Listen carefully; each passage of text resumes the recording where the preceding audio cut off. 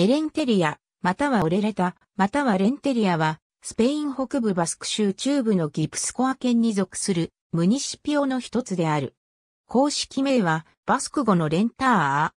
ー。2014年の人口は39,230人であり、ケント・サン・セバスティアンとイルンに次いで、ギプスコア県で3番目に人口の多い自治体である。これまでの歴史でエレンテリアは多くの名前で呼ばれてきた。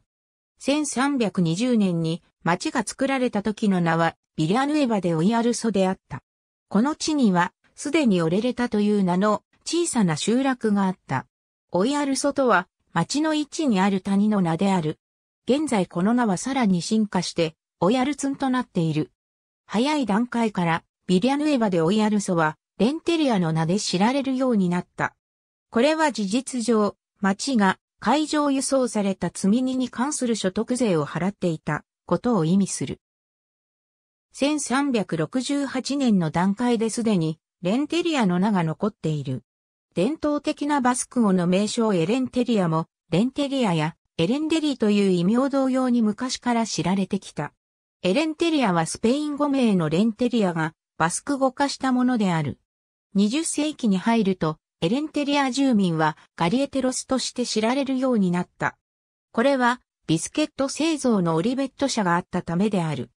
1994年、エウスカルツァインディアはエレンテリアの歴史的名称としてオレレタを認識するに至った。1998年、自治体は唯一の正式名称としてバスク語名のエレンテリアを採用した。エレンテリアはオイアルツン川の歌詞に形成された都市である。この町には、バスク鉄道の路線の一つも、大体東西方向に通されており、エレンテリア駅も設置されている。さらに、レンフェオペラドーラの路線の一つも、やはり大体東西方向に通されており、レソエレンテリア駅も設置されている。このほか、市街地のすぐ南には、欧州自動車道路の幹線の一つである、E05 号線も大体東西方向に通されている。2007年選挙では、バスク社会党が8議席、バスク民族主義行動が6議席、バスク民族主義党が2議席、アララールが2議席、国民党が2議席、バスク連帯が1議席を獲得し、バスク社会党のフアン・カルロス・メリーノが市長に就任した。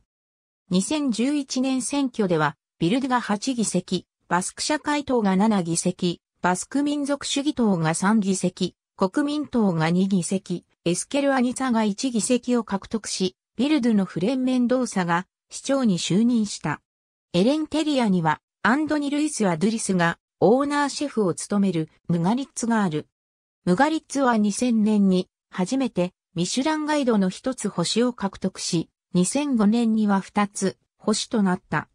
レストラン誌の2014年版世界のベストレストラン50ではスペイン最高位の6位となった。ありがとうございます。